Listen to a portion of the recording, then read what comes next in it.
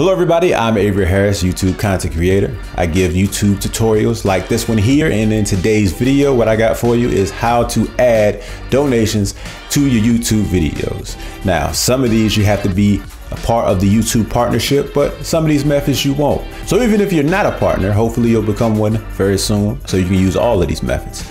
I also want to say that if you don't have a crowdsourcing platform that you use yet, and you're still looking for one, then I have a list of approved sites from YouTube that's going to be in the comment section. If you're thinking about using a non-approved site like PayPal, for example, then you won't be able to use any methods that require you to have a YouTube partnership. So keep that in mind. Last thing I want to say before I get started with this list is that I've made a video that shows you how to add a donate button to your YouTube channel. So if you're interested in that, check that out as well. So the first method I got for you on how to add donations into your YouTube videos is to actually just say it in the video. You know how people say, why don't you go ahead, like, subscribe, click the bell notification.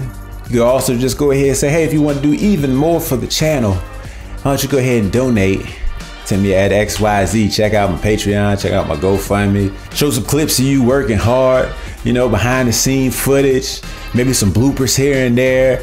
Talk about the perks, let the text pop up, be all flashy and something. Or maybe you want to do something completely different. Hey, I don't know. So let's say you don't want to use a third party. You just want to use YouTube for your crowdsourcing as well. Let's also say that you become a YouTube partner. Well, in this case, what you could do is go on your YouTube studio, go into the monetization tab and then click on the members tab. And then you can start your own application to have a membership on YouTube. This membership is for your fans. They'll become one of your members and then they can donate to you. You can start an application and then you would tell YouTube essentially what you want your membership your crowdsourcing situation to look like. As you can see, I did not start mine yet, but I do plan on making a tutorial on how this looks exactly. So if you're interested, be on the lookout for that. The third way I got for you is by taking your URL from your crowdsourcing platform and then adding it into your description box or adding it as a pinned comment. In which case you would grab your URL from wherever it is and then go into YouTube Studio, go into your specific video, go into the descriptions, and then add it somewhere into the description. Press save so you can save the changes, and that's it.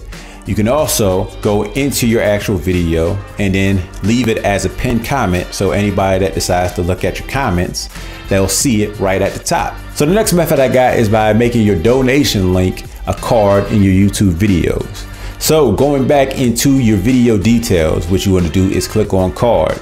And from here, you want to add a new element and the element is going to be a link. If you are not a partner with YouTube yet, this link will be grayed out, so you won't be able to use it. But if you are, then you can go ahead and click on it. And from here, paste in your URL.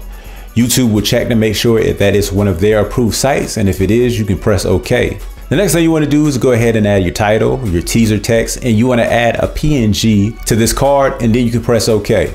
You also want to make sure that you put it exactly where you want it to be in the timeline. So this brings me to my last method I got for you, which is adding your donation link to the end screen.